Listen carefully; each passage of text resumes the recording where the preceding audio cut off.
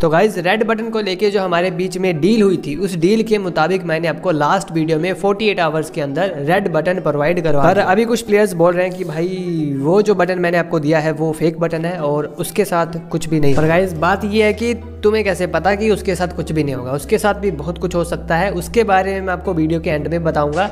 उससे पहले हम ये बात करते हैं कि रियल रेड बटन कहाँ पे मिले? मैंने तो आपको पहले ही कहा था कि जो रेड बटन मेरे पास है वो भाई व्हाइट एफ़ का रियल रेड बटन नहीं है। वो किसी और से मैंने लिया और कोई ना अगर आपको रियल रेड बटन चाहिए तो मैं आपको इस वीडियो में बताऊँगा कि आपको रियल रेड बटन कहाँ पे तो सबसे पहले हम बात करते हैं व्हाइट एफ़ के रेड बटन के बारे में कि व्हाइट एफ़ का रेड बटन क्या है कैसे है क्यों तो व्हाइट एफ़ का जो रेड बटन है वो या तो मैक्रो है या फिर एडिटिंग है। पर ज़्यादा चांस यही है कि वो आईफोन का मैक्रो है।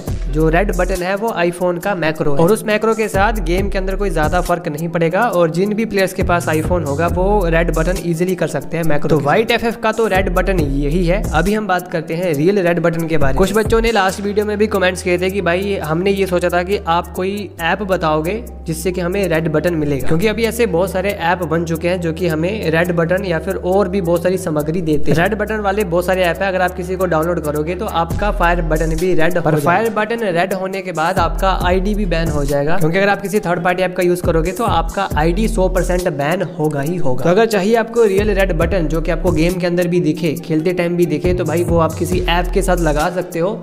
पर फिर आपका आईडी भी उठ जाए अभी हम ये बात करते हैं कि ये जो जितने भी प्लेयर्स हैं या फिर यूट्यूबर्स हैं, ये उल्टे सीधे काम कर क्यों रहे हैं? जैसे कि कोई बंदा अपनी सेंसिटिविटी बेच रहा है, कोई उल्टी सीधी फालतू की सेटिंग्स के बारे में बता रहा है तो कोई रेड बटन के बारे में बता। बात बहुत ज़्यादा सिंपल सी है, जो आगे की जनरेशन है, वो सारे जितने भी पिकाचू नए पैदा हुए हैं उनके पास दिमाग नहीं है। उनको बहलाना और अपनी बातों में फंसाना बहुत ज़्यादा आसान है, क्योंकि उनमें दिमाग की कमी है। मतलब कि दिमाग उनके अंदर है ही नहीं। आपको ऐसे समझाता हूँ कि वाइट एफ़ ने अपना नो स्किल सेंसी क्यों लॉन्च किया। क्योंकि वाइट एफ़ के कमेंट बॉक्स में आप देखना प्लेयर्स प्लेयर्स नहीं बोलेंगे पिकाचू बोलेंगे। पिकाचू बंदे कमेंट करते थे कि, भाई, अपनी सेटिंग्स के बारे में बताओ। आप कौन सी सीक्रेट सेटिंग यूज़ करते हो जिससे कि आपके इतने खतरनाक हेडशॉट्स लगते तो वाइट एफ़ ने ये सोचा होगा कि मैं तो कोई सीक्रेट सेटिंग यूज़ नहीं करता। पर ये बंदे कमेंट कर रहे हैं कि कोई सीक्रेट सेटिंग बताओ तो मैं इनको ऐसा करता हूँ कि मैं कुछ फालतू की चीज़ें इकट्ठी करके एक सेंसिटिविटी लॉन्च करता हूँ और फिर उनको मैं पैसों में बेचता हूँ और मुझे भी फ़ायदा हो जाएगा। और जो पिकाचू हैं वो तो भाई दिमाग उनके पास है नहीं तो वो क्या ही कहेंगे। तो वाइट एफ़ ने 20 डॉलर के अंदर नो स्किल सेंसी बनाई। 20 डॉलर शायद से 2000 के आसपास होते होंगे इंडियन करेंसी में। और व्हाइट एफ़ के जैसे और भी बहुत सारे प्लेयर्स है जो कि फालतू की सेटिंग्स के बारे में बताते हैं फ़ोन और वो सब भी फालतू की सेटिंग्स के बारे में इसलिए बताते हैं क्योंकि पिकाचू लोग बिना दिमाग वाले लोग कमेंट करते हैं कि भाई अपनी सेटिंग्स के बारे में बताओ। भाई उन बंदों ने प्रैक्टिस की है। छः सात साल उन्होंने प्रैक्टिस की है तब जाके उनका ऐसा गेम प्ले बना है और पिकाचू लोग कमेंट करते हैं कि अपनी सेटिंग्स के बारे में बताओ। अब यहाँ पे वो बंदे थोड़ा सा दिमाग लगाते हैं। अगर वो बंदे कहेंगे कि भाई मैंने छह सात साल प्रैक्टिस की है तुम भी प्रैक्टिस करो तो पिकाचू लोग उनको नहीं देखते तो फिर वो सब प्लेयर्स क्या करते हैं? वो थोड़ा सा दिमाग का यूज़ करते हैं और वो फिर फालतू की सेटिंग्स के बारे में बताते हैं। और जब वो सेटिंग्स के बारे में बताते हैं तो पिकाचू ऑडियंस उनको देखती है। और ये जितनी भी फालतू की सेटिंग्स वगैरह हैं ये सारे ट्रेंड बाहर से आते हैं और फिर इंडियन यूट्यूबर इनके ऊपर बहुत सारी वीडियोस बनाते हैं फेक सेटिंग्स के बारे में बताते हैं और उनको फिर व्यूज़ आते हैं बहुत सारे। फ़ोन की बहुत सारी फेक सेटिंग्स जैसे कि टॉक बैक हो गया स्विच एक्सेस हो गया पॉइंटर स्पीड हो गया, या फिर कुछ और फालतू की सेटिंग्स के बारे में बताया जाता है। क्योंकि पिकाचुओं की सीधी बात है कि भाई, हमें प्रैक्टिस नहीं करनी।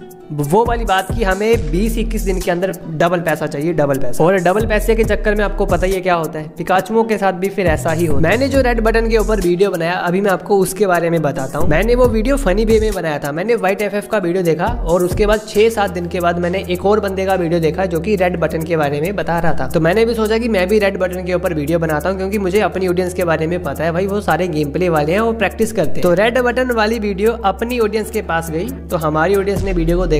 और इंजॉय किया। पर पर जब ये वीडियो नई ऑडियंस के पास गई पिकाचू वाली ऑडियंस के पास गई तो उन्होंने इसको रियल मान लिया कि भाई, सच में रेड बटन जैसी कोई चीज़ होती हो। और ये भी मान लिया कि उसके साथ फिर ज़्यादा हेडशॉट्स लगते होंगे। भाई, तुम कैसे मान सकते हो? तुम्हारा दिमाग नहीं है क्या? तुम कैसे मान सकते हो कि किसी चीज़ के साथ गेम के अंदर ज़्यादा हेडशॉट्स लगे? और बड़ी बात तो ये थी कि मैंने अपनी वीडियोस के अंदर कोई भी फेक काम नहीं किया। मैंने आपको रेड बटन दिखाया और मैंने आपको ये भी कहा कि ये व्हाइट एफ़ वाला रेड बटन नहीं है, ये मेरा रेड बटन है, जो कि मैंने किसी और बंदे से लिया। और जो बटन मैंने यूज़ किया था डील के मुताबिक मैंने वो आपको दे भी दिया और मैंने आपको ये भी बता दिया कि मैंने कैसे यूज़ किया था और आप कैसे यूज़ कर सकते मतलब कि मैंने सब कुछ आपको रियल बताया और जो मैंने आपको बताया था कि इसके साथ ऐसा ऐसा होगा एक्यूरेसी बढ़ेगी ज़्यादा हेडशॉट्स लगेंगे। तो वैसा तो आपको और भी बड़े बड़े यूट्यूबर बताते हैं ना जो आपको टोक वैक और स्विच एक्सेस की सेटिंग के बारे में बताते हैं कि भाई बर्बो सिटी में जाओ इसकी वैल्यू को ये रखो इसकी वैल्यू को ये रखो। तब तो भी जो ऑडियंस कुछ नहीं कहती तब तो नहीं कहती कि भाई हम तुम्हारा चैनल अनसब्सक्राइब करेंगे हम ये करेंगे वो करेंगे क्योंकि उनको पता ही नहीं चलता। बहुत सारे पिकाचू ने कहा कि हम तुम्हारा चैनल अनसब्सक्राइब कर देंगे तो भाई कर दो, क्योंकि मैंने किसी को नहीं कहा है कि मेरा चैनल सब्सक्राइब करो।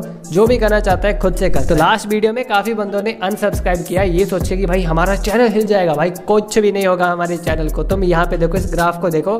पहले पूरे सब्सक्राइबर डाउन हो गए, और फिर आप खुद देख लो कि कहाँ तक। शायद से 80 तक सब्सक्राइबर डाउन गए और फिर देख लो बढ़ना शुरू हो गए और अभी सिर्फ़ माइनस फोर्टीन दिखा रहा है काजू ऑडियंस ने ये वीडियो देखने के बाद चैनल को अनसब्सक्राइब कर दिया और जो मेच्योर ऑडियंस है जो सही ऑडियंस है उसने सब्सक्राइब कर लिया। समझ में आ रहा है कुछ गाइज़ पिकाचू ऑडियंस की अपने को कोई भी ज़रूरत नहीं है। अपने पास लॉयल ऑडियंस है भाई। और अपनी ऑडियंस को सब कुछ पता है कि कौन सी चीज़ सही है और कौन सी चीज़ गलत है। और हम अगर मज़ाक करें या फिर कुछ भी करें उनको सब कुछ पता लग जाता तो बस वे गाइज़ इस वीडियो में सिर्फ़ इतना ही। Bye bye